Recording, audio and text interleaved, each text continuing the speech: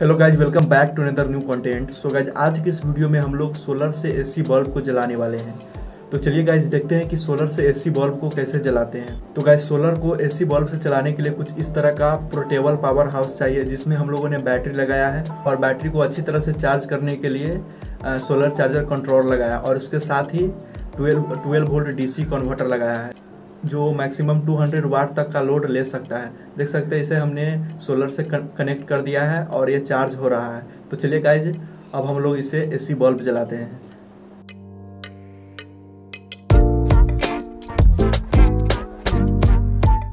Guys सबसे पहले हम लोग चार्जर की मदद से इस रिंग लाइट को जलाने वाले हैं।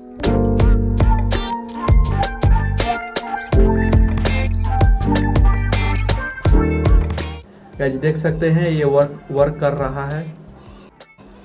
तो चलिए गाइज़ अब हम लोग नाइन वाट एसी बल्ब को, जो 220 वोल्ट एसी पर चलता है, उसे हम लोग जलाने वाले हैं। गाइज़ देख सकते हैं ये भी वर्क कर रहा है।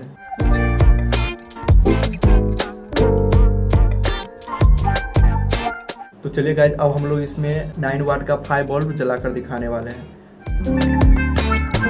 गाइज़ देख सकते हैं ये भी वर्क कर रहा है।